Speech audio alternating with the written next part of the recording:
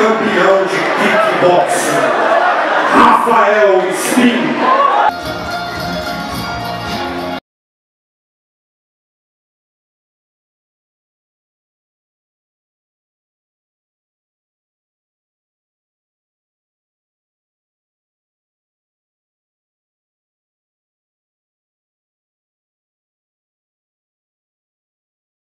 Nós convidamos o atleta do